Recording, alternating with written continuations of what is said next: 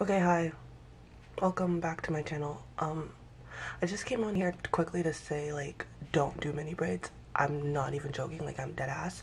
Don't do mini braids unless you have the patience. Everyone was like, oh my gosh, you have the patience to put those in. And I'm like, yes, I do. But then I realized I don't have the patience to take them out.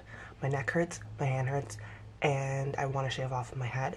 So I'm just telling you guys, do not do mini twists. I mean, mini braids. Do not do mini braids. Do not do mini braids unless you are ready for this. It's been four days and I'm only at the back of my neck. It's been four days.